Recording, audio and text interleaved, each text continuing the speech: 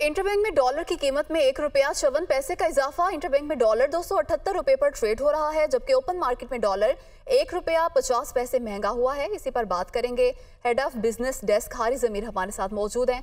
हारी जमीर, बताइएगा डॉलर की कदर में इस्तेकाम कब आएगा?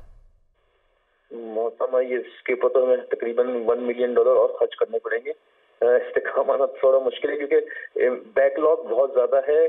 जैसे ही हमारे पास डॉलर इन्फ्लोज आए हैं तो जो इम्पोर्टर्स की तरफ़ से और हुकूमत की तरफ़ से जो कंटेनर स्टकअप थे, उसकी रिलीज़ शुरू हो गई है। तकरीबन फोर बिलियन डॉलर वर्थ जो का जो माल जो था, वो पोर्ट्स पे अटका हुआ था, जिसकी वजह से एक प्रेशर आया हुआ। दूसरी तरफ़ से ये हुई कि आईएमएफ की जो कंडीशन है कि मार्केट बेस्ड करेंसी रेट रखना है तो इसकी वजह से कोई इंटरवेंशन या कोई इस किस्म की कोई मुदाखलत नहीं है। जिस तरह से डिमांड एंड सप्लाई है, उसी हिसाब से डॉलर का रेट आ रहा है। ओपन मार्केट में भी जो डॉलर है, वो रिफ्लेक्शन ऑफ़ इंटर बैंक है ओपन मार्केट में भी रेट बढ़ेगा तो इसके काम आना थोड़ा जी हारिस बहुत शुक्रिया आपका।